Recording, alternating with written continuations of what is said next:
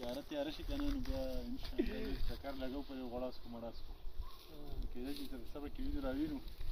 نو که څو یې مو یې وښته نو تاسو به خیر تاسو مو سیمه خو بیا ها رواني